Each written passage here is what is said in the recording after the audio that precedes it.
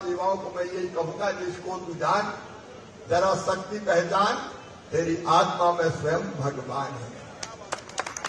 और आज हम संकल्प लें हम केवल इसलिए नहीं है कि एक सरकार बने और एक सरकार ना रहे।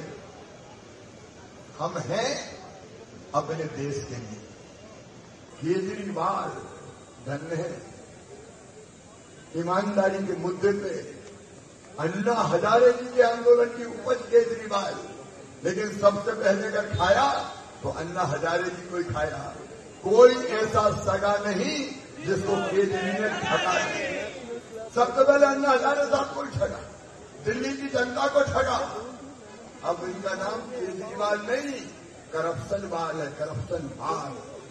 ये भ्रष्टाचार के सबसे बड़े उदाहरण है। भ्रष्टाचार के सबसे बड़े उदाहरण। दुर्गा सप्तशती में रक्त बीज का ज़िक्र आता है।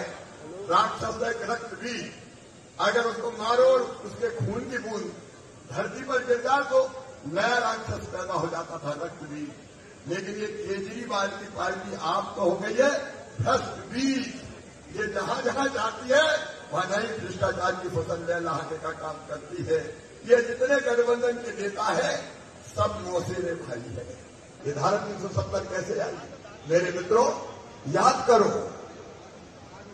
पाकिस्तानियों ने हमला कबालियों ने किया था जम्मू कश्मीर पर। हमारी सेनाएँ बहादुरी के साथ लड़ रही थी। अगर तीन दिन और युद्ध विराम नहीं होता तो पीओके होते ही नहीं। सारा का सारा कश्मीर हमारा होता।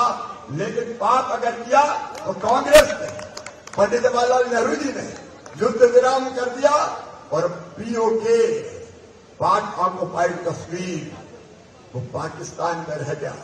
आज हमारा संकल्प है भारतीय जनता पार्टी का, क्या पीओके हमारा है और हम उसको लेके रहेंगे, वो भारत का अभिन्न अंग है। नमस्कार, मैं हूँ मानक गुप्ता।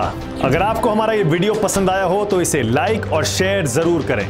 और हाँ, हमें सब्सक्राइब और फॉलो करना ना भूलें, ताकि आप देश और दुनिया की कोई खबर मिस ना करें।